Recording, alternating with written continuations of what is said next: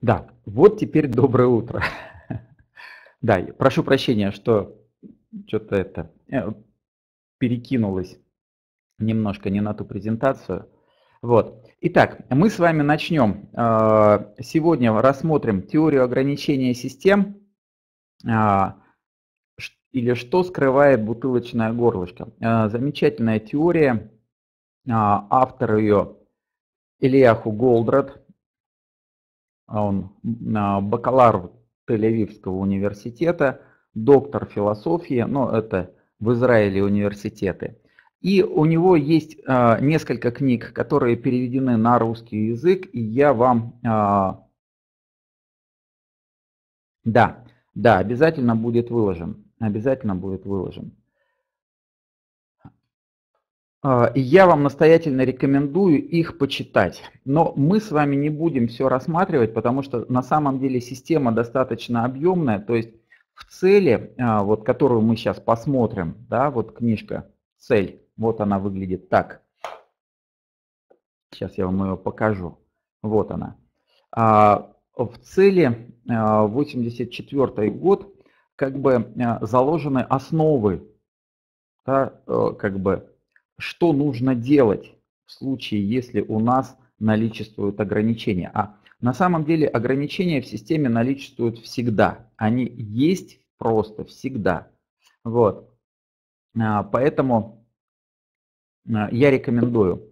А следующие книги, они посвящены в большей степени, ну, тоже очень интересные, тоже замечательные книги. Они посвящены еще дополнительным аспектам, связанными с мыслительными процессами, а как выявить это ограничение, раз, так, и как прийти к правильному решению. То есть а, Ильяху был а, как бы сторонником того, что э, компромисс это, а, это не то, что мы ищем, это не тот идеал. То есть всегда существует решение, как он считал, что всегда существуют решения, которые а, приведет к пользе обоим. Да? А, обе стороны от этого решения выиграют. То есть вин-вин, так называемая. Да? А, и у того и другого победа.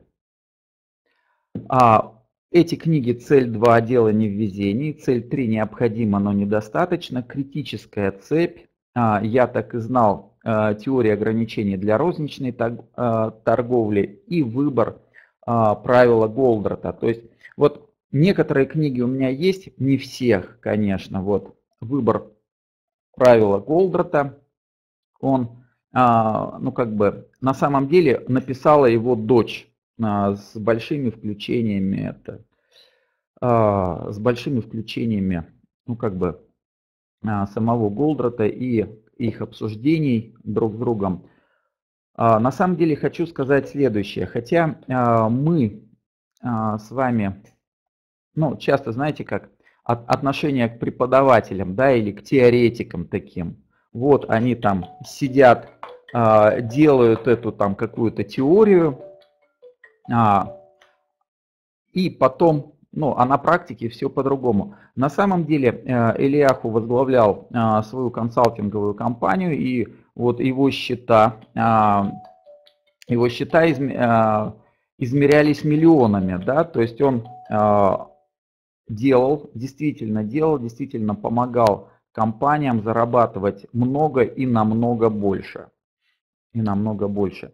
А, приводится, по-моему, да, вот в этой а, выборе правила Голдрата, там индийская, а, индийская розничная сеть крупнейшая, они там вывели ее на неимоверную высоту. И французская, французская компания, связанная с одеждой, там интересный был момент такой, а, когда он а, общается с менеджментом, с руководством, вот, и а, спрашивает, скажите, а вот удвоение прибыли за какой период вы могли бы сделать? Он тут, там, ну, лет за пять. Это максимум при напряжении всех сил. Ну и вот, и начали разбирать пошагово все вот эти вот ограничения, которые существуют, и удвоение прибыли, там утроение прибыли. Вот. Не за 5 лет, да, а буквально вот за, а, в течение там ближайшего года. А, ну, может быть, это как а, такие вещи, они самые такие яркие, но тем не менее. Что еще? Так, извините, я отключу.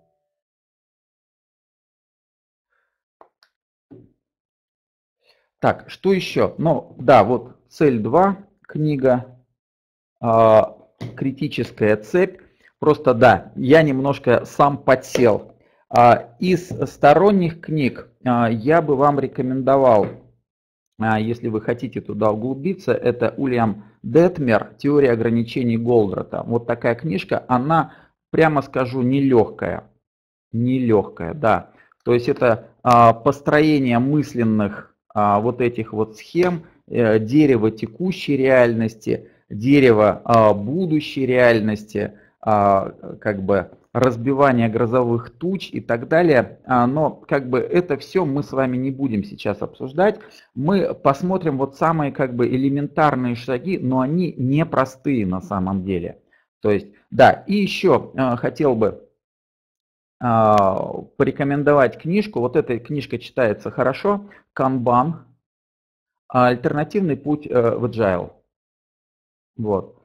Хотя вроде бы она про управление проектами про, для программистов, эта книга, но он ее основывает как бы на вот системе, на пропускной способности именно системе Голдрата. Вот. То есть Несмотря на то, что она э, про программистов, рекомендую, может быть, для бухгалтеров и экономистов именно э, даже в работе своего отдела она очень сильно поможет. Ну вот, это по крайней мере у меня вот такая стопка. Так, а мы начнем. Мы начнем. А, а сама книга «Цель» была выпущена в 1984 году, и это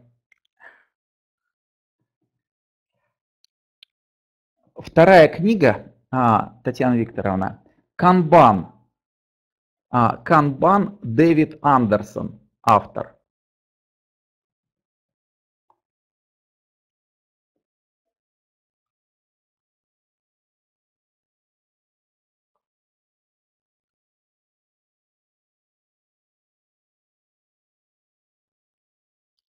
Канбан.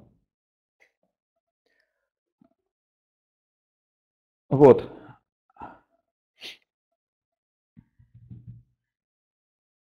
Да, а, сама книжка была выпущена а, в 1984 году. Сюжет простой, а, ну как бы доста завязка такая достаточно простая, что ну, новый директор завода должен его вытащить из там из убытков, потому что он абсолютно неэффективен, там группа компаний, и ему дано 3 месяца на то, чтобы а, этот подвиг совершить. Если он этот подвиг не совершит, то завод просто-напросто закроют.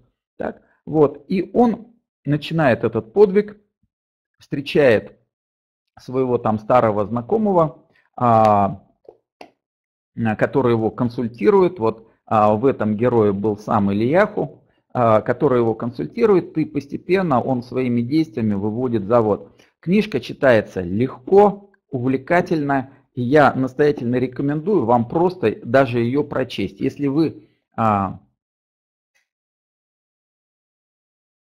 а, ну, даже, может быть, не ставить целью себе там, как бы понять эту теорию или еще что-то, да, ну вот просто как, как приключенческий роман, он тоже читается Отлично. Да, а три плюсика, кто э, читал эту книжку, три минуса, кто не читал.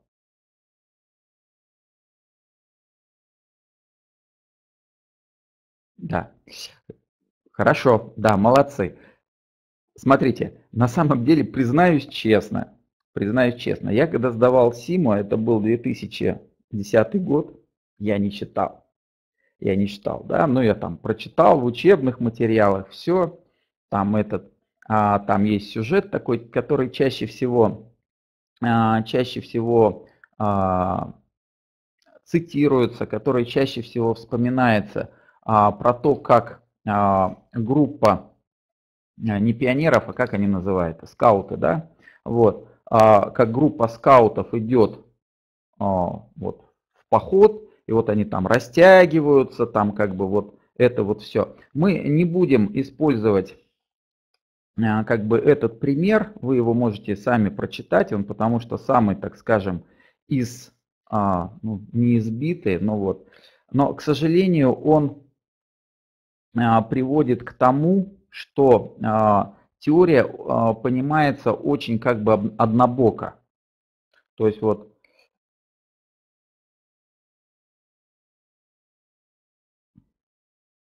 то есть имеется в виду следующее.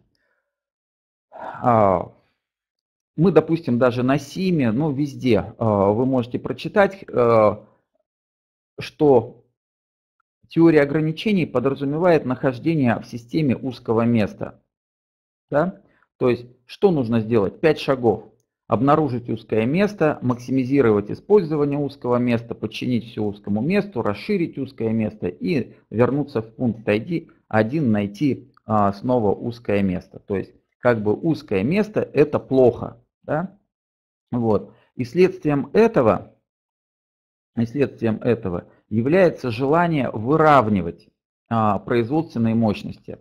А как мы понимаем с вами, производственные мощности, они а, могут быть а, в чем угодно. Да? Это могут быть цеха, а, у которых а, есть а, как бы мощность там, оборудования. Это может быть трудовой коллектив, у него есть определенный объем трудочасов. Да? Это может быть а, ограничение по спросу. Это может быть ограничение по площади, там, я не знаю, склада. Ну, какое-то ограничение, оно присутствует. А в IT-компании, безусловно, множество ограничений. Александр, вот. И э, по IT-компаниям я вам, э, вот да, рекомендую как раз вот эту вот книжку почитать. А, Дэвид Андерсон, вот это, Дэвид Андерсон, Канбан. И по IT, ну это вот э, вообще самая такая, самая-самая, сейчас принесу, извините.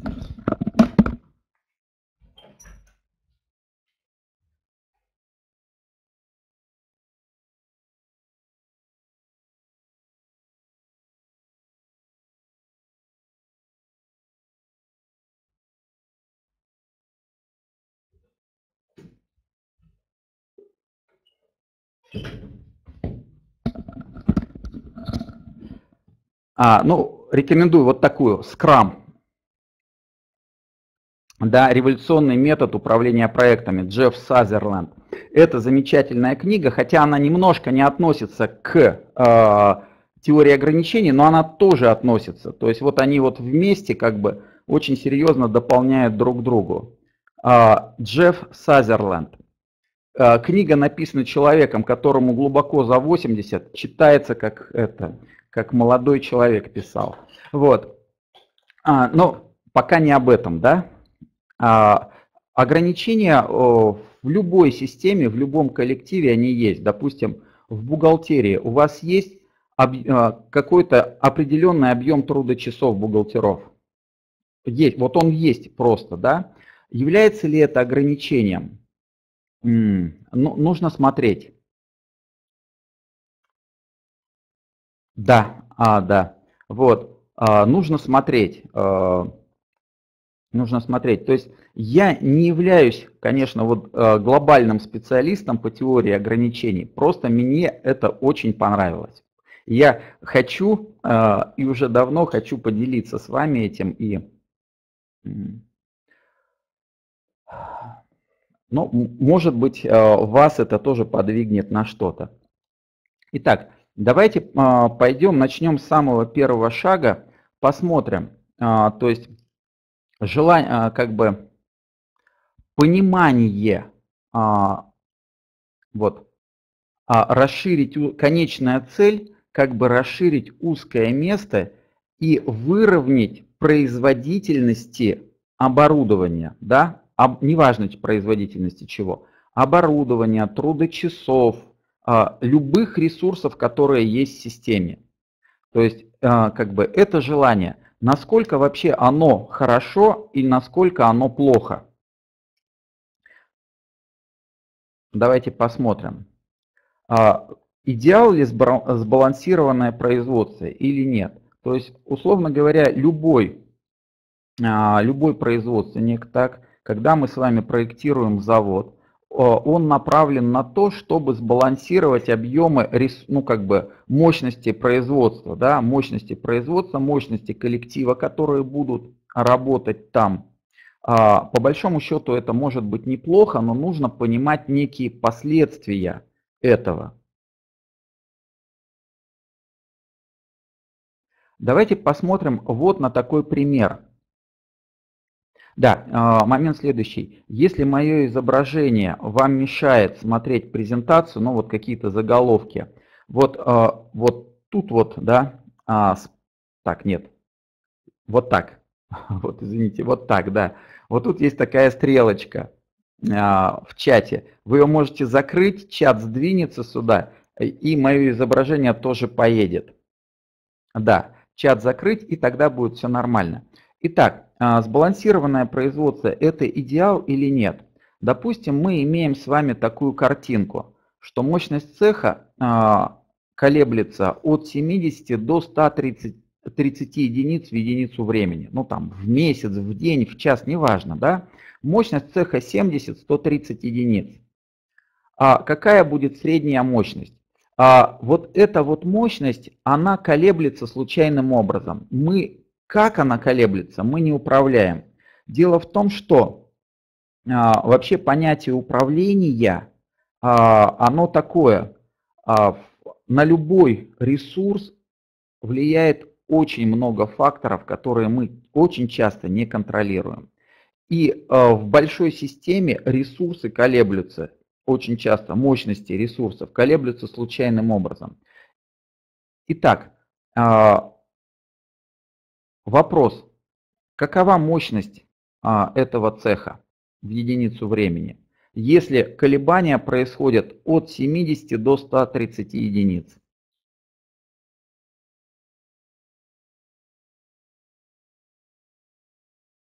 Да ну.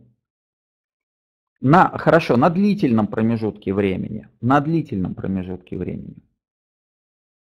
Но 130 не могут быть, да. 100 100, совершенно верно. 100. Да, какова производительность? У нас есть поток деталей, а, и, естественно, 100 единиц. Да, то есть а, усредняются вот эти вот колебания с течением времени, и, а, как бы, и производительность одного ресурса 100 единиц. В среднем 100, совершенно верно. Момент следующий. В книге есть такой, а, такая сюжетная, как бы,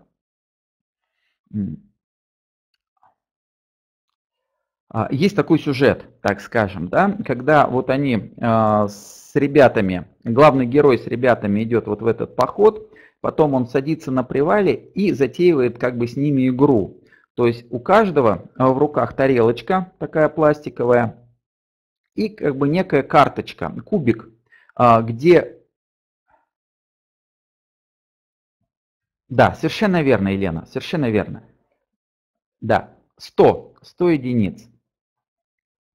70 а, плюс 130 пополам. А, у каждого тарелочка вот такая вот и кубик. Каждый выбрасывает кубик, это тарелочка мощность, сколько он может там деталей переработать. В качестве деталей выступают спички. Вот. Их там, по-моему, 6 человек сидит. И вот каждый бросает кубик. Если у него выпала шестерка, он может взять себе 6 спичек. Так. Вот. А, если а, выпала а, у соседа, у соседа, допустим, тройка, он берет из тарелки предыдущего три спички и перекладывает себе. Да, и вот они вот так вот вот так вот они действуют. Ну и а, в книге там на две страницы таблицы а, производительности и все. вот, это случайным образом, что он там происходит. Но мы, конечно, не можем сделать такие, вернее, а, сесть с такими тарелками, но мы можем, в принципе, просчитать. Давайте посмотрим ситуацию следующую. Допустим, у нас с вами 5 цехов, да, которые вот выстроены в цепочку. У нас с вами идет поток деталей в каждый цех. И мощности каждого цеха, мощности каждого цеха а, случайным образом изменяются от 70 до 130 деталей. Какова в целом производительность системы? Вопрос. Случайным образом, какова в целом производительность системы?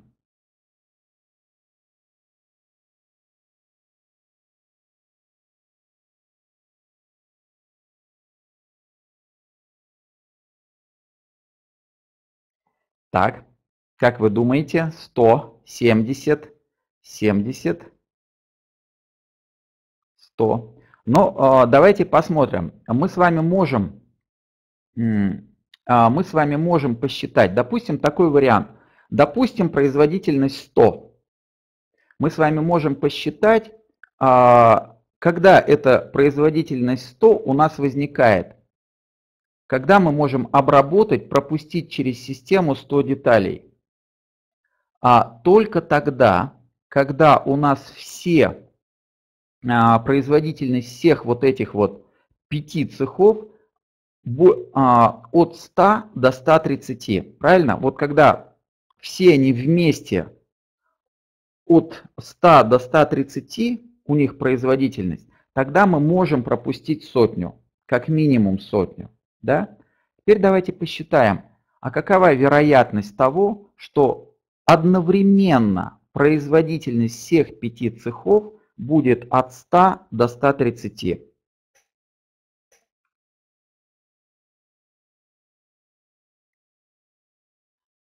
Пять процентов в пятой степени, 0,5, 0,5 да, это вероятность каждого а, вероятность каждого а, в пятой степени 3,125%. То есть, смотрите, вы, вот, в пятой степени, а, потому что вероятности перемножаются, да, вот события, а, они перемножаются. 0,5 в пятой степени, 3, а, и там 1,125. То есть фактически мы не сделаем, ну как бы вероятность, что мы выпустим а, сотню единиц, производительность наша будет, она очень мала. Она очень-очень мала. Вот. Скорее всего, производительность будет намного и намного ниже. А, Татьяна Вячеславовна, смотрите, когда у нас производительность будет 100 единиц, ну как минимум 100. Когда производительность всех одновременно, а, всех одновременно цехов, будем их так называть для упрощения, будет больше 100. Правильно? Если один из них будет, допустим, 70 или 75, поток не пройдет, сотни не пройдет. Она пройдет сотня только в том случае, когда все больше 100. Вот. А, а все больше 100, они могут быть с вероятностью 3%. Вот с вероятностью 3%, да, а, у нас будет мощность, а, производительность этой системы 100 единиц. Вот. Я просто, чтобы не перекладывать ни это, не играть на тарелочках, честно говоря, я хотел сделать, такой вот, э, сделать такую вещь, но у меня не получилось в Excel. Вот, там нужно немножко программировать, а я все-таки э, не программер, а, вот, чтобы это изобразить и вот так пошагово это сделать, потому что там получается как бы ссылки, они сами на себя, а, цикличные ссылки там получается, то есть нужно делать циклы. Вот. Но со статистикой мы тоже можем это рассчитать. Теперь давайте посмотрим, а когда у нас с вами а, какой объем, какая производительность системы у нас с вами вот этой будет.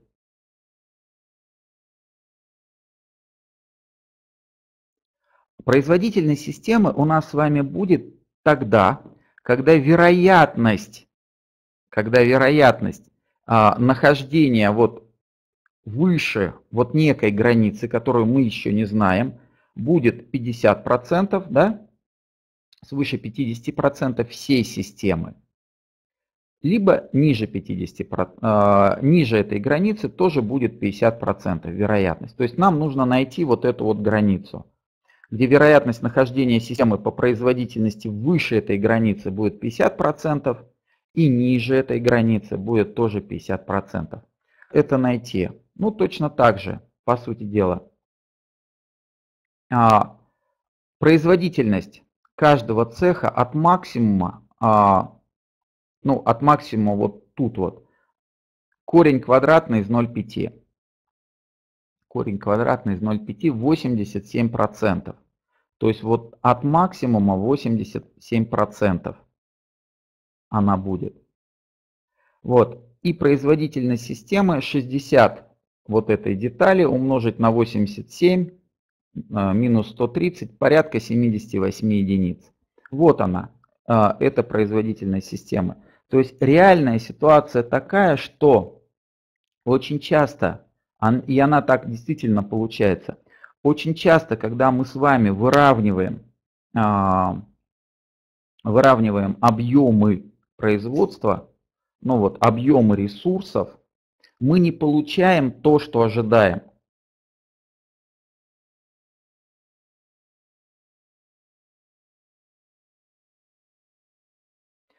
Почему 60? Потому что разница между 130 и 70 сколько получится?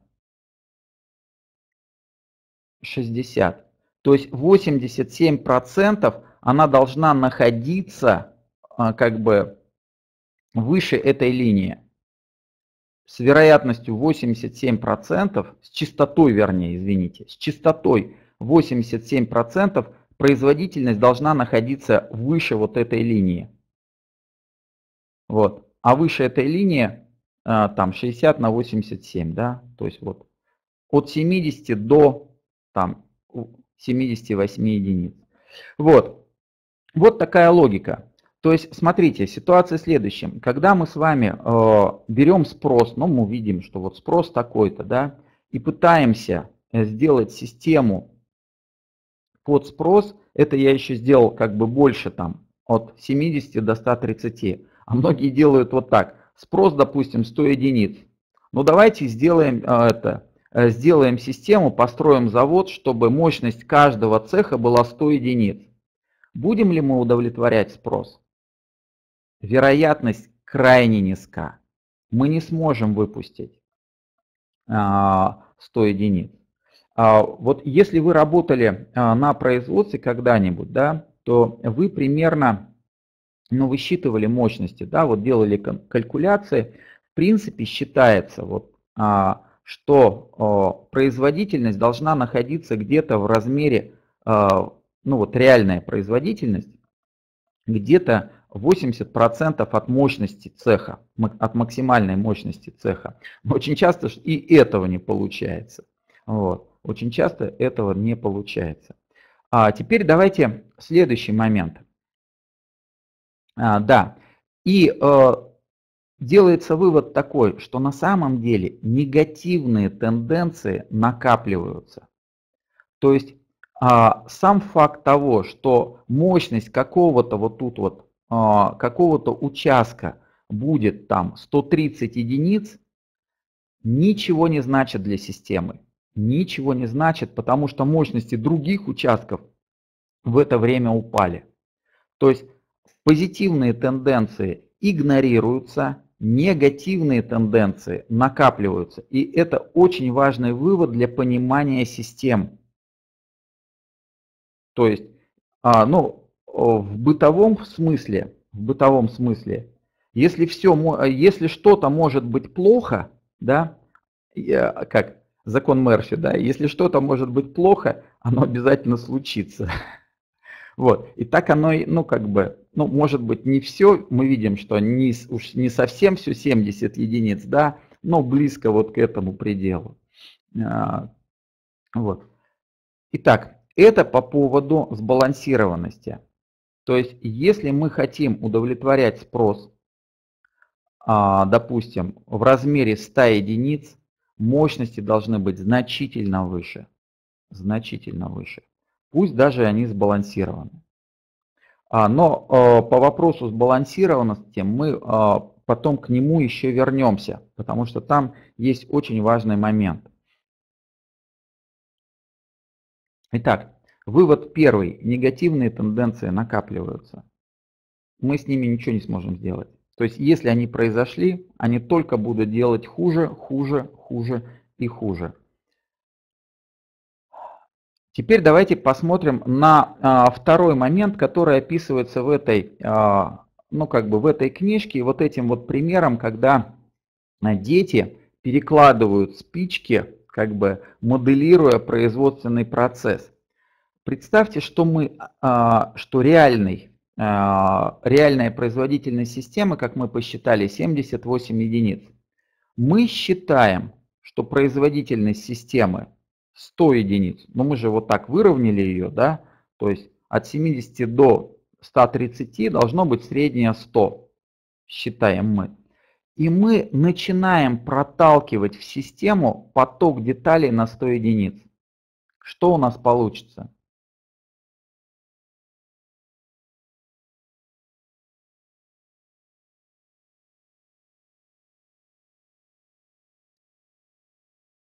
А, Сергей Николаевич, вам надо клавиатуру пере переделать на русский шрифт, иначе так не пойдет. Да, что у нас получится? Смотрите, а, если поток деталей а, будет 100 единиц, в тот момент, в тот момент, когда вот первый цех Да. Незавершенка, конечно, да. А, Причем она будет расти. Смотрите, в а, тот момент, когда первый цех у нас будет иметь мощность 130 единиц, он как крокодил да, заглотит эти 100 единиц легко и свободно. Протолкнет это дальше. Так? А ситуация может быть следующая. А, а на втором этапе 70 единиц он просто не сможет это проживать, да, эти 100 единиц. И 30 единиц у нас осядут вот здесь, в запасах. Дальше пойдет. Дальше не важно, какая мощность вот у третьего. Да, если второй проживал 70 единиц, э, этот будет жевать, даже если у него мощность 130, только 70 единиц. Точно так же четвертый и пятый да, просто потому что у второго в этот момент взбрело в голову, что у него мощность 70. Но не взбрело в голову, а так случилось. Мощность 70.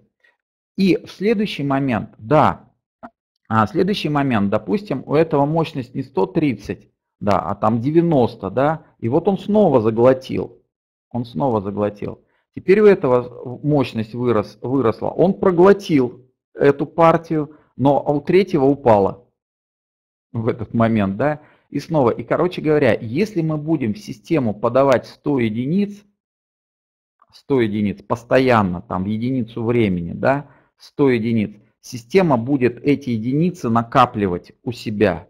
То есть у нас будут огромные, э, огромная незавершенка, потому что в среднем выход 78 единиц. В среднем выход 78. И через некоторое время у нас э, появится такая вещь что все работает, как бы работает, везде аврал, везде горы незавершенки, да, все. Вот, э, вот такая вот, э, вот такая картина. И, и это при том, что запасы сбалансированы. Поэтому система, э, по большому счету, должна быть, конечно, вытягивающей. Да, только то, что мы можем произвести, мы производим и это заказываем. Вот, потому что, ну, но, а представьте, а что такое незавершенка у нас? Говорит, что идеально, э, как бы, э, идеально продукты или сырье и материалы, или там полуфабрикаты, которые уже находятся в системе, они идеально лежат и сохраняются? Нет. все портится, даже промышленные изделия портятся, они ржавеют, они там э, еще что-то, их же надо обслуживать, вот. Они ржавеют, лежат, там все, и по сути дела э, из этих складских запасов, ну, огромный процент брака. Потом огромный процент брака идет. Ну, многое нужно выбрасывать просто-напросто. Вот, это следствие это следствие а, как бы вот такого вот непонимания работы систем. Непонимания работы систем. К сожалению, оно очень часто проявляется, реально проявляется. А скажите, а в бухгалтерии как оно проявляется? Ведь мы же не только на заводе, да? Вот каждый из нас там, а, ну вот у меня практически я смотрю по своей статистике, да, на Депифре у меня учатся 80% главных бухгалтеров. Примерно такое соотношение, ну, допустим, меньше, 60% а, сейчас у нас здесь присутствуют, главные бухгалтера и финансовые директора, да. Вот, но ведущие специалисты, вы все работаете в коллективе. Что происходит у нас? Постоянный аврал, постоянные авралы, да, вот, то есть времени нет доделать, да, постоянно горы, кучи а, вот этой вот работы, которая не сделана. Да, и вот. И многие это чувствуют. Это ужасно, конечно. Я согласен. А, три плюсика. Кто это чувствовал? Что кругом горы работы, что это? И мы все не успеваем. Мы не успеваем это переделать все. Вот. Сергей Николаевич, да, это вопрос, скажите, да, это вопрос организации труда. Если вы все не успеваете сделать, скорее всего, у вас все очень, э, вы просто неорганизованный человек, да. Вот, но э, в жизни всякое случается, вот, и мы, когда, допустим, вы приходите на новое предприятие, говорить о том, что все организовано, невозможно. Да, то есть чаще всего бардак, какая-то карусель непонятная, еще что-то, и вам нужно э, в этой системе а, как-то наводить порядок. Да, следующее, что у нас? Да, следствие рост запасов в системе, э, что является крайне-крайне-крайне негативным фактором. А, теперь момент следующий. А, что говорит как бы Голдрат? Такая гипотеза он выдвигает такую гипотезу, а, которую он а, в своей деятельности подтверждает на практике. Каждая система имеет одно, максимум два ограничения. Оно всегда это ограничение есть. Это ограничение может быть физическим, мощность. Это ограничение может быть э, спрос. Это ограничение может быть какой-то другой ресурс, там, трудовой ресурс, материальный ресурс. Это ограничение может быть в мозгах руководителя, просто потому что он не понимает. Этим ограничением может быть человек, который принимает управленческие решения и не может их принять э, как бы с правильной скоростью. То есть э, система достаточно сложная и всегда где-то есть ограничения. всегда где-то есть ограничения. А, мы на Сима, возвращаясь немножко к а, Сима, а, хочу сказать, что мы изучаем, изучаем такой момент, когда у нас есть в системе множество ограничений. Когда существует в системе множество ограничений, мы используем систему линейных уравнений. Да, то есть они достаточно сложные. Вернее так, линейные уравнения простые, а, вот, и даже Excel их решает. Но само по себе э, решение как бы линейных уравнений, оно итерационное, да, то есть все время приближая, приближая, приближая решение, как бы машина просчитывает и крутит эти линейные, прокручивает эти линейные уравнения, да, чтобы получить, как бы, а, свести это к какому-то результату. А, Голдер читает не так. Каждая система имеет одно ограничение, и мы можем его выявить физически, наблюдая за деятельностью компании. То есть нам не нужен супер-пупер математический аппарат. для этого, да, не нужны расчеты, иначе этими расчетами мы можем там 100 лет рассчитывать и ничего не рассчитаем.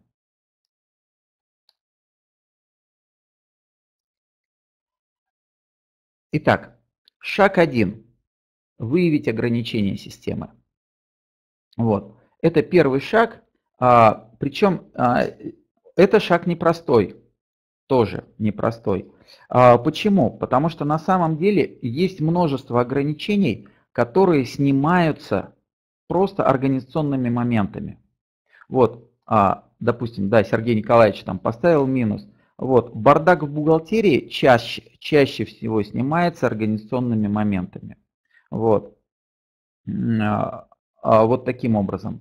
Но э, есть некие ограничения, которые мы организационными моментами снять не можем. Это действительно, то есть, э, вернее так, эти ограничения можно снять, но только инвестируя крупные суммы средств, либо усилия, если касается просто какого-то человека. Вот. Только проведя крупномасштабные инвестиции. А, и вот здесь вот важный момент. Как только мы выявили такое ограничение, это не значит, нужно, что нужно проводить крупномасштабные инвестиции. Вот это путь в никуда. И это очень важный момент.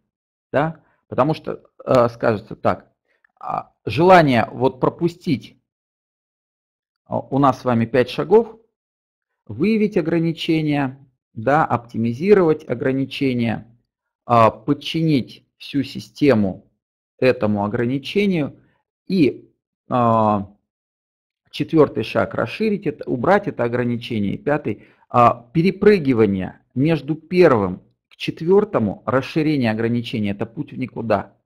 Это просто порождение неэффективности компании. Поэтому ситуация следующая. На первом шаге мы действительно выявляем ограничения. На втором шаге на втором шаге, а, мы с вами максимально максимизируем использование ограничений. Какими способами можно а, использовать это ограничение? Первое. Контроль над этим ресурсом. Да? Отсутствие простоев. Обязательно формирование буфера запасов. Вот здесь вот. А, этой книге в цели а, ограничивающим фактором был станок. Ограничивающим фактором был станок. Вот. И они в результате, естественно, сделали так, что он работал круглосуточно, да, вот, сформировали буфер запасов перед ним, причем, ну там, конечно, в книге интересные моменты, да, то есть видно, что человек с производством-то сталкивался, потому что они там на э, пяти страницах рассуждали о том, что нужно э, сделать отсутствие простоев, все, и вот этот вот консультант как бы приезжает там супер-пупер дорогой, да, ну говорит, показывайте ваши ограничения. Вот. Те гордо, мы нашли его, и теперь мы все сделали, теперь а, максимально его используем. А, они приходят, станок не работает. Почему? Да рабочий ушел на обед. вот. вот так. То есть обедов быть не должно. Да? То есть должно быть организовано так, что станок, а, условно говоря, если это станок ограничения, он работал постоянно. Вот. А, на максимуме. То есть здесь должен быть контроль внимания руководства на этом ограничении. Почему необходим буфер запасов? Хотя мы а, как бы вот в этой системе, мы стремимся к тому, что запасов должно быть минимально. Минимально. Но буфер запасов не, непосредственно перед а, ограничением крайне необходим. Почему? Потому что а, вот в книге это используется термин удар Мерфи. Представьте, что а, какой-то из вот этих вот а, цехов, ну там, или ресурсов, предстоящих вот здесь, бьет Мерфи. Что это значит? Его производительность падает до нуля. Бам, и все. Что происходит? Поток а, полуфабрикатов а, к ограничению прекращается. Просто все, стоп, стоп машина. Для того, чтобы ограничение не прекращало работу, необходимы запасы. Но только в ограничении. Но только в ограничении. Вот. А три плюсика, что это понятно.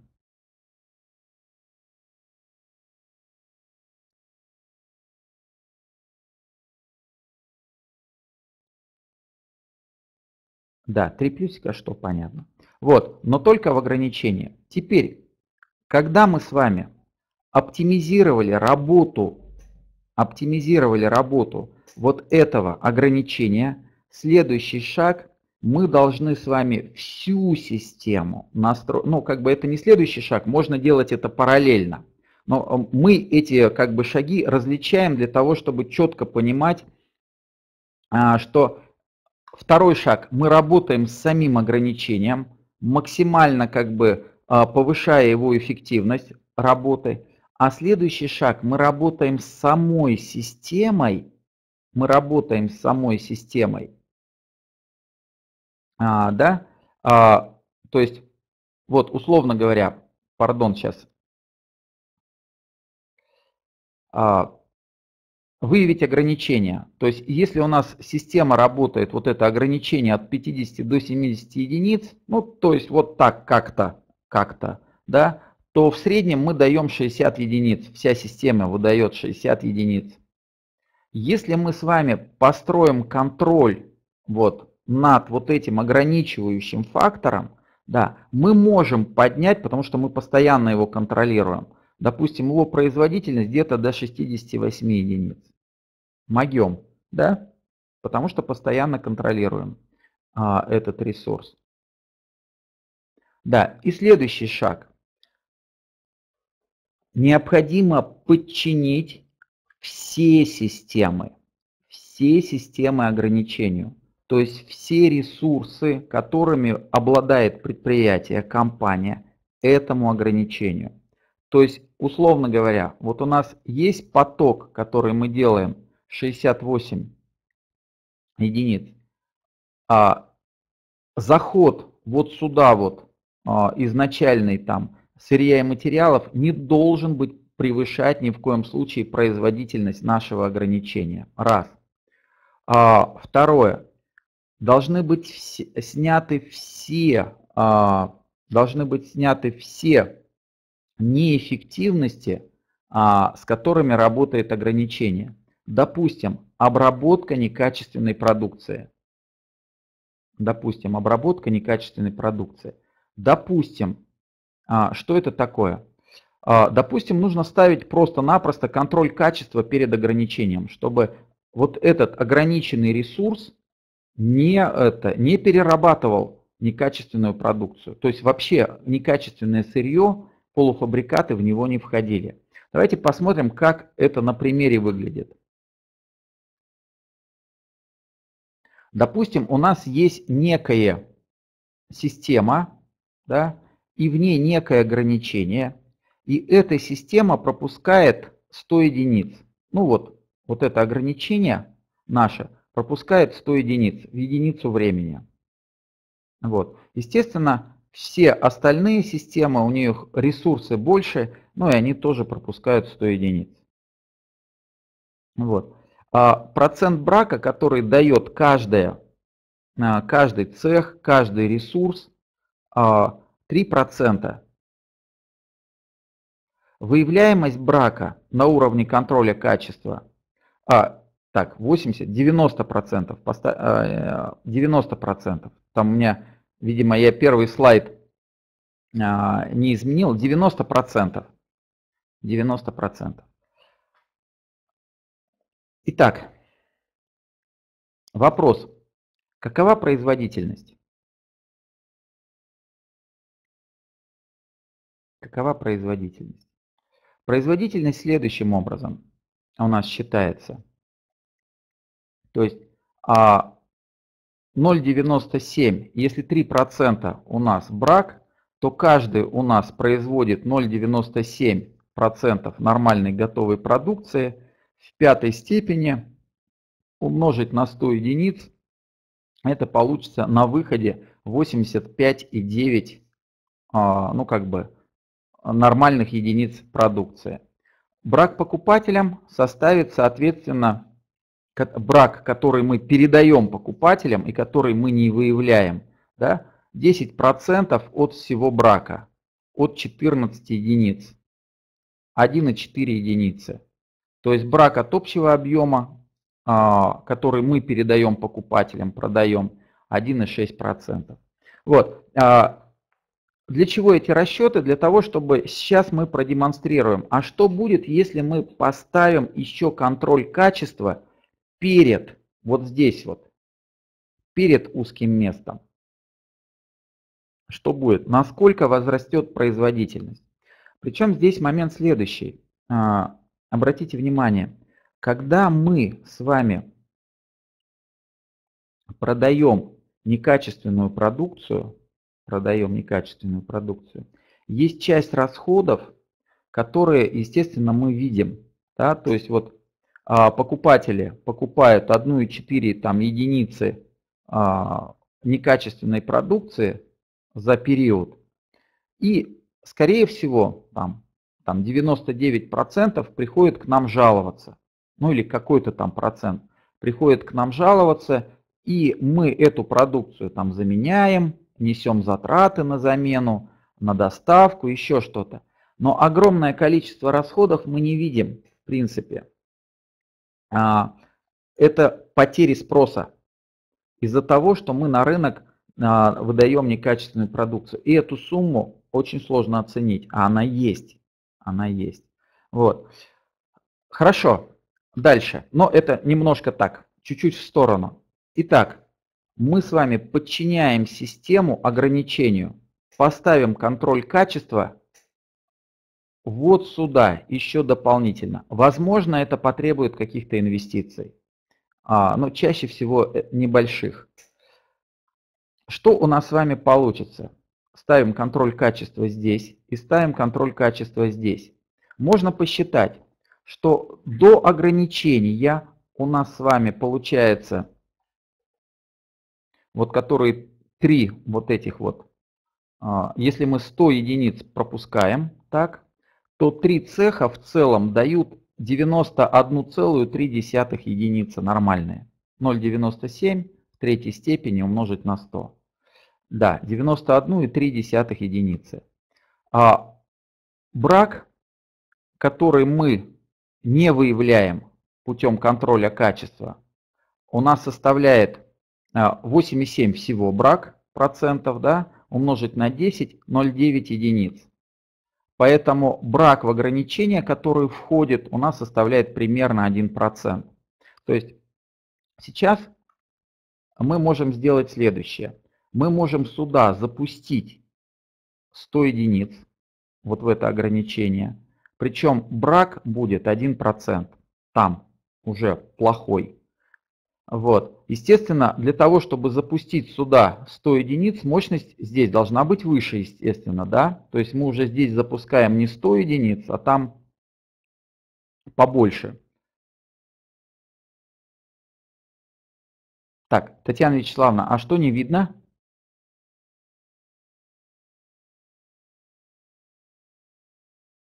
Не видно слайд. Так, три плюсика, если слайд виден.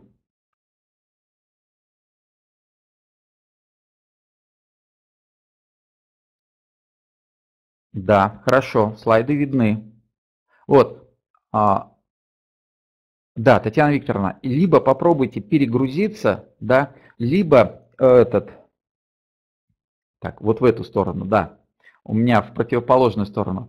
А, зайдите на сайт webinar.ru, прямо вот набрать webinar.ru, а, и там телефоны техподдержки, можно просто позвонить, и они помогут.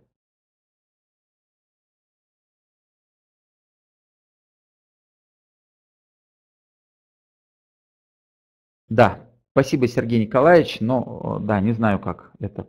Так, хорошо, дальше. А, итак, 1% у нас все равно брака сюда поступает. Какова будет производительность нормальная вот этих двух систем? Этих двух систем. 0,99 да, умножить на 0,97. На самом деле я неправильно посчитал. Сейчас вот смотрю. И надо еще умножить на 0,97. 0,99 умножить на 0,97 и умножить, потому что сам этот тоже портит 3%. И умножить еще на 0,97. Да, получится здесь 93 единицы. Но на самом деле не так важно. Да, вот подход. Я потом поправлю этот расчетик. Этот расчетик. Да, и брак покупателя получается 4 единицы. На самом деле сколько получится? Минус 1. 7 единиц умножить на 10%, 0,7. Брак в ограничении 0,4%. И рост производительности 96 единиц, э, и у нас было 85,9 единиц. То есть почти на 12% рост производительности. А снижение брака э, даст нам очень-очень-очень серьезные вещи, связанные со спросом. То есть эффект от качественной продукции, он как бы распространяется. Вот, то есть мы подчиняем все, э, все любые ограничения административные, э, все, чтобы вот это ограничение работало эффективно. Вот смысл. А, как бы, вот смысл третьего шага. Четвертый шаг. Снимаем это ограничение. Снимаем это ограничение, допустим, делаем инвестиции туда, а, делаем инвестиции, снимаем ограничение и на пятом шаге ищем новое ограничение. Почему? Да потому что это ограничение всегда есть в системе. Вот здесь на картинке оно как бы выровнено, но реально в любой системе есть ограничения. Вот. И а, поэтому именно, вот если мы посмотрим заголовок книги, так, где она? Вот она. Посмотрим заголовок, цель – процесс непрерывного улучшения. То есть это не а, процесс снятия ограничений, это процесс нахождения ограничения, оптимизация, а, оптимизация там, производства, завода, деятельности, короче говоря, оптимизация в целом системы, оптимизация в целом системы, да, и только после этого расшивка этого ограничения. Следующее, снова а, поиск ограничения, оптимизация системы под это ограничение новое. Вот. И когда мы оптимизируем на каждом шаге, и получается вот это развитие. Потому что ситуация будет следующая. Если вы нашли ограничение и просто его сняли, бардак будет продолжаться. Бардак будет продолжаться. Да, но тут есть какой момент? Какой здесь есть момент? А, серьезной, что а, как только вы сняли ограничения, вам необходимо перестраивать все процедуры производственные, потому что вам нужно подчинять уже все новому ограничению. То есть нужно исследовать, что там за ограничение, почему мы его не можем расшить просто прямо сейчас. Вот. И работать с ним. Уже все процедуры переделываем. Вот, вот этот вот важный момент. Теперь момент следующий. Какая опасность существует? Опасность очень серьезная, она сидит в мозгу у нас у всех. Попытка оптимизировать неограничивающие ресурсы. Что происходит? Посмотрите. Представьте, что у нас есть ограничения. Там, и мы э, производим 68 там, единиц. А у нас, пардон, здесь предыдущий на предыдущем шаге. А, мощность 130 единиц, максимальная. А, что делает начальник каждого цеха? Любой руководитель, любого подразделения. Что он делает? Ну, представьте, условно говоря, у вас сидит 10 бухгалтеров. 10 бухгалтеров. А, и условно говоря, на 10 бухгалтеров у вас каждый день 10 а, отгрузок. Ну, документов на отгрузки и 5 документов, а, допустим, на это. 5 документов на закупку. И 5 работников. 10 бухгалтеров. То есть что, что захочется сделать? Сократить Конечно, нужно же оптимизировать это все, да? Ведь, пардон, у нас мощность 130 единиц, а мы выпускаем через этот цех 68. Давайте мы рабочих сократим. Что они сидят, на носу колупаются? Да? Зачем? Как говорится, да? Вот оно, это естественно желание сэкономить, да, сделать а, оптимальным локальный вот как бы ресурс этих, сократить рабочих, да, еще что-то сделать там, вот. А, то есть а, вырубить, а, а, вырубить, вырезать и продать ряд, цех, ряд станков. Зачем они нужны? 130 мощность, да, когда у нас а, ежемесячно она идет а, всего 68. Да? Вот, то есть, и ведь ситуация в следующем. И ведь у нас вся логика направлена на это, оптимизацию. Ведь любого руководителя подразделения будет, э, будут, ну как бы, ругать. А почему у тебя, ты же несешь затраты, ты платишь работникам заработную плату. Они у тебя сидят 3 часа в день, допустим, 5 часов работают, а 3 часа в день в потолок смотрят, да? Что нужно сделать? Сократить расходы. Вот. И Голдрат говорит, что это крайне ошибочное и э, вообще невероятно глупая, э, невероятно глупая вещь. Пытаться оптимизировать э, каждый локальный ресурс. Вот, это очень серьезная ошибка. Второй вывод, который нужно сделать, что система с локальными оптимумами не оптимальна сама по себе. Она не может выдать необходимую производительность. Почему? Да, потому что существует следующий момент. А, представьте, а, представьте, вот здесь вот, а, да, мы сформировали буфер, мы сформировали буфер, и вот это вот третий цех ударил Мерфи. Бам, его производительность упала, там, ну не до нуля, но 10-20%.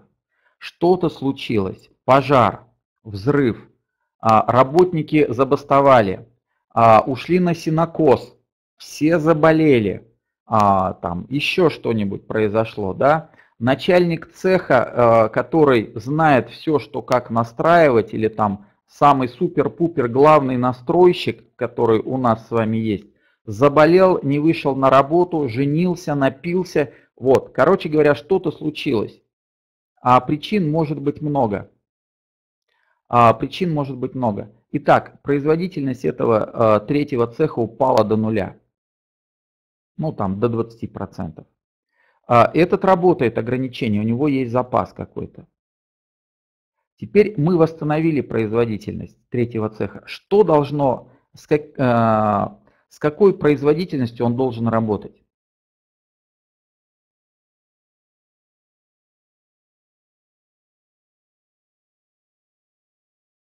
Какой производительностью он должен работать?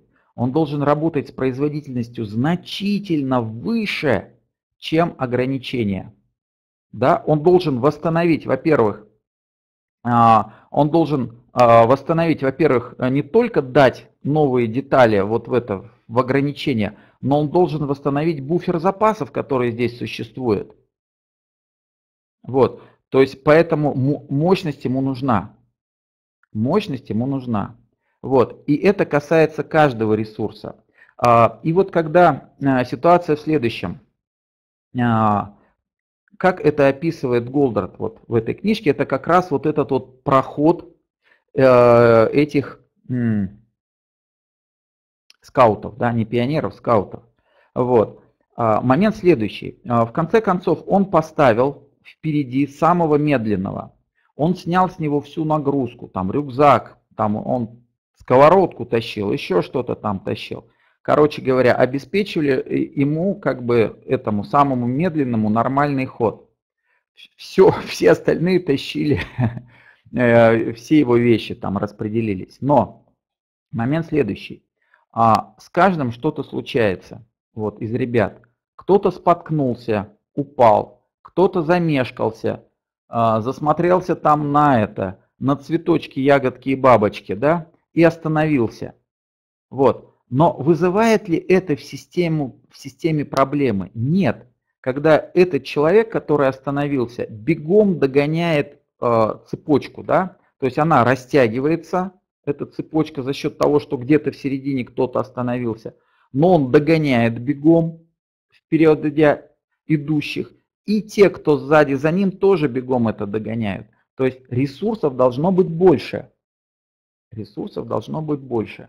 И иногда очень значительно больше. Вот. А, и там говорится а, так, ну такой стандартный вопрос. И что эти работники, все остальные, во всех остальных цехах должны сидеть и ничего не делать? Да, должны сидеть и ничего не делать. Идите, подметайте как бы этот, красьте забор, там подметайте а, это, территорию завода, еще что-то. Но если придет час X, вы должны встать у, стан, а, у станков и показать максимальную производительность, на что вы способны. Вот.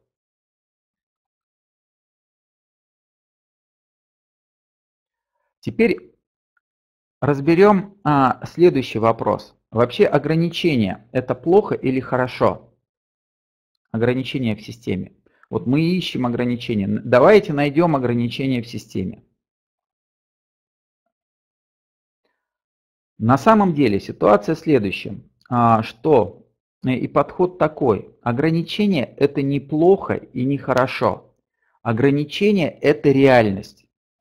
А, просто реальность. Причем неважно, а, как бы знаем мы об этой реальности, не знаем мы об этой реальности, она просто есть. Это ограничение в системе. Вот. И вопрос здесь в другом. Э, можем ли мы, а, можем ли мы использовать это ограничение? Просто оно есть. Мы можем знать о нем, можем не знать о нем. Но если мы его целенаправленно ищем и находим, да, мы можем его использовать. Да, можем его использовать. Каким образом а, мы можем его использовать? А можем его использовать следующим образом. Первое.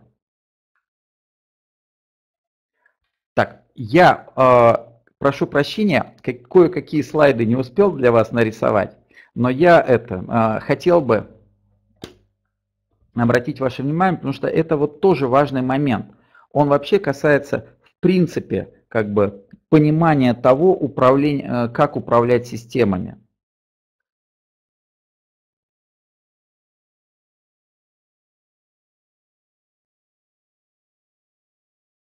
Сейчас, секундочку, я включу рабочий стол и немножко порисую. Надеюсь, что вы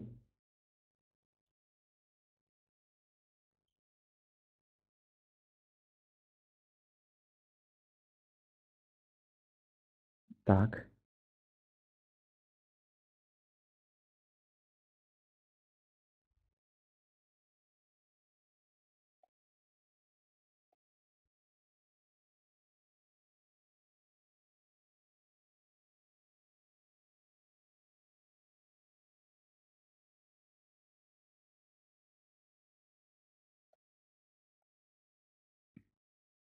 Так, плюсик, что рабочий стол виден.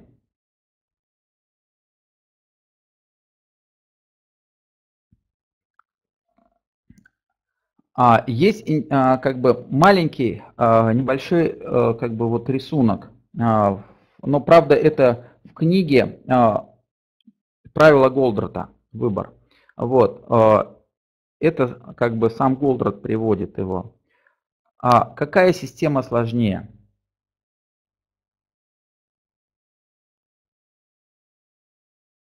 Допустим, такая система. Или вот такая система.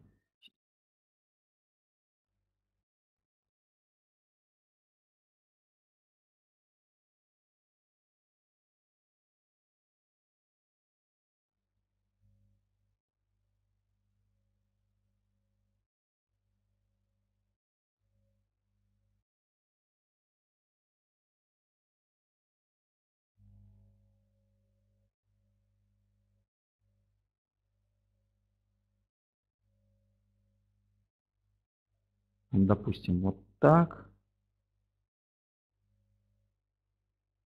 Какая система сложнее? Это первая система. Это вторая. Что сложнее?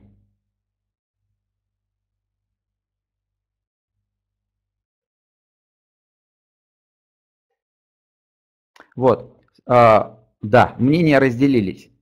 И сложнее первая система. Почему? Вот эта первая система сложнее. Потому что э, нужно, для того, чтобы ей управлять, нужно, да, а, первое, они не взаимодействуют друг с другом.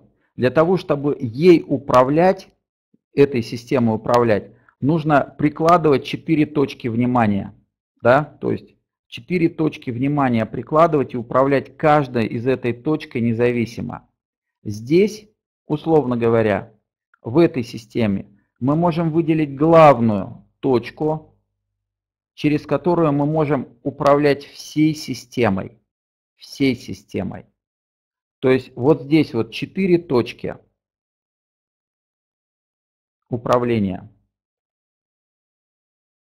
А здесь одна точка управления. Только одна точка. И теперь вопрос, чем проще управлять? Второй системой проще управлять. Мы дернули за одну ниточку, дернули за одну ниточку, и каким-то образом реакция пошла по всей системе. Вот. А, поэтому ситуация в следующем. Неважно, знаете ли вы о том, что есть ограничения? Не знаете ли вы о том, что есть ограничения? Ограничение есть в системе. Оно просто есть там. Вот.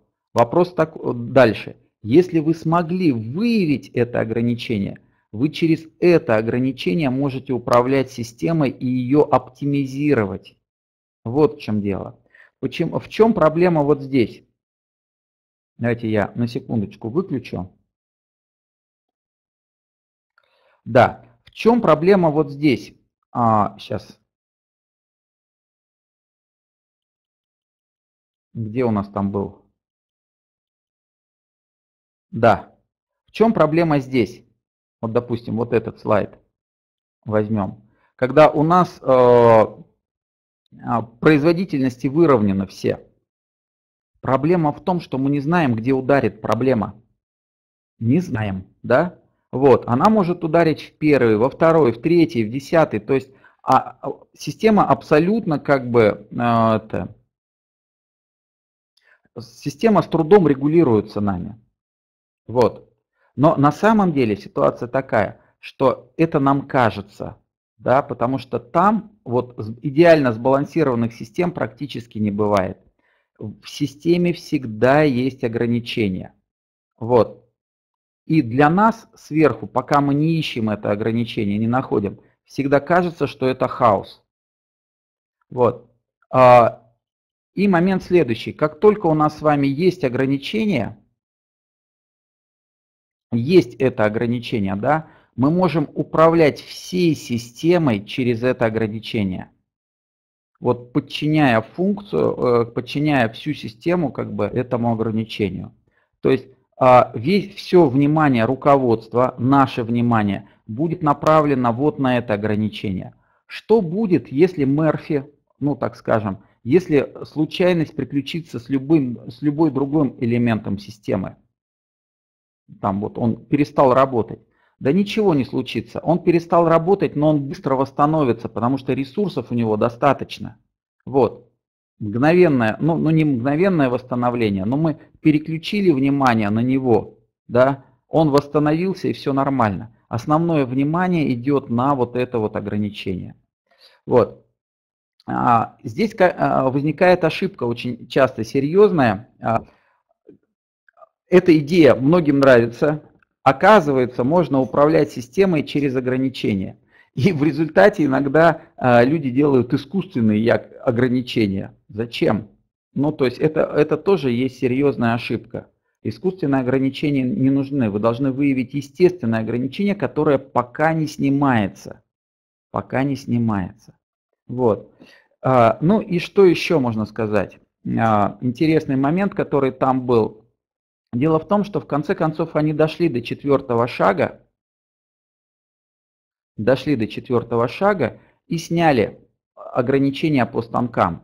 Они там добавили э, эти, они добавили огранич... Э, эти станки, другие новые, вернее старые, да, которые были менее эффективными, но тем не менее повысили производительность и сняли они ограничения.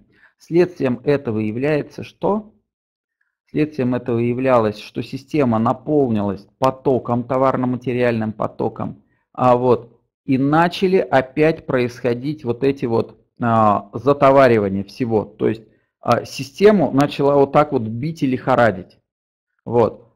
Пока мы не, пойм, не поймем, где есть ограничения, системы будет лихорадить. Как только мы выявим снова следующее ограничение, мы снова опустим и вот как бы до этого, до ограничения и будем действовать. Вот а, таким образом. А, следующий момент, но в принципе мы его носимо, конечно, уже разбираем, это расчеты, которые расчеты себестоимости, расчеты пропускной способности, вот. Там я просто скажу вот так, потому что это там, конечно, разбирается, вот, что э, пропускная способность э, очень похожа на маржинальную. Э, маржинальную прибыль в единицу времени. И по большому счету мы стараемся максимизировать ее. А вот. А,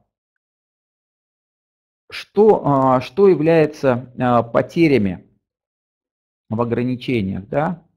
А, а, да, причем интересный момент такой важный, что в теории ограничений а, условно постоянными затратами является все, кроме материалов. Все, кроме материалов. И это действительно практически так. То есть в краткосрочном периоде, несмотря на то, что в большинстве заводов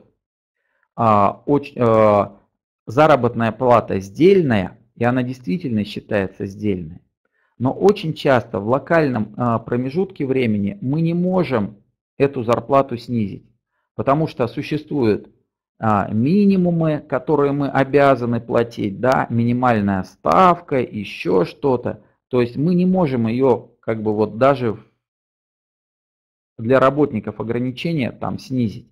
Вот, поэтому заработная плата считается условно постоянной. И какие потери нес, э, компания несет, если узкое место простаивает. Все вот эти затраты, все условно постоянные затраты, разделить на а, время работы ограничивающего ресурса, то есть на час. И это будут потери. А на самом деле с учетом упущенной прибыли, ну маржинальной, да, или пропускной способности, потери будут еще больше. Еще больше.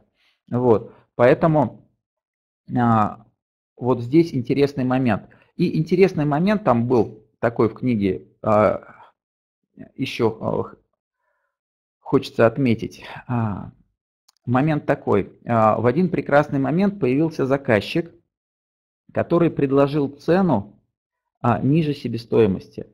Причем не просто ниже себестоимости, а ниже маржинальной себестоимости. То есть ниже переменных затрат. Вот. И они согласились на эту сделку, но цена была выше, чем а, стоимость материалов. И они согласились на эту сделку, это как бы повысило их эффективность еще. Я думаю, что за этот пример Голдрата очень сильно критиковали. А, не в плане того, что он не, как бы неправильный, да, а в, а в плане того, что а, слепое подражание, вот такому, это как, да, там, факир шпагу глотает, вот, и на экране ни в коем случае не это, не пробуйте делать это дома.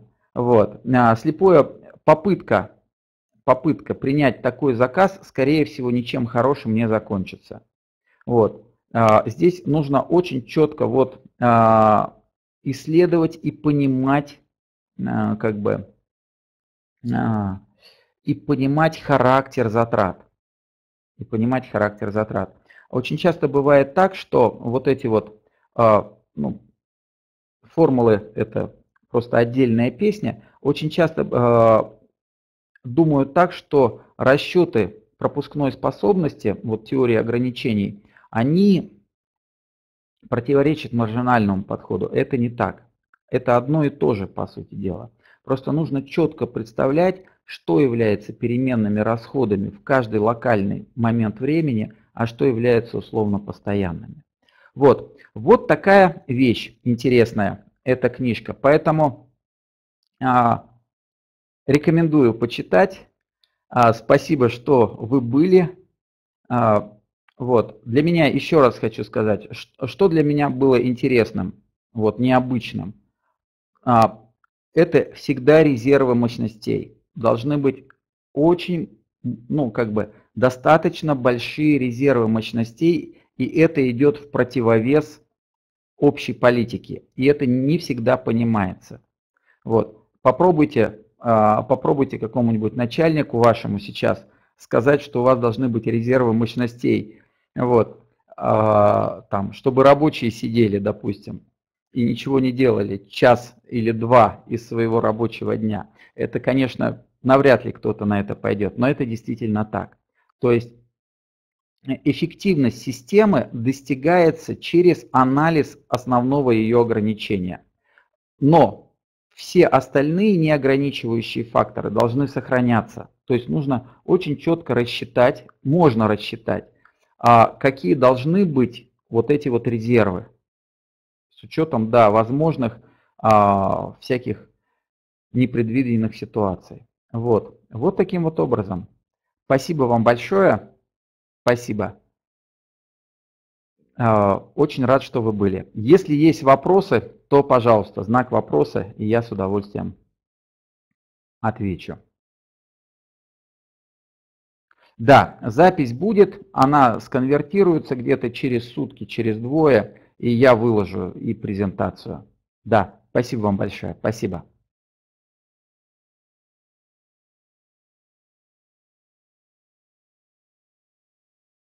Да, до свидания. Так, а, что, э, да, что э, планируем э, еще? Что бы мне хотелось сделать? Не знаю, когда это получится, но очень хотелось. Мне бы хот... Вот мы с вами посмотрели финансовый директор в огне. Три плюсика, кто был?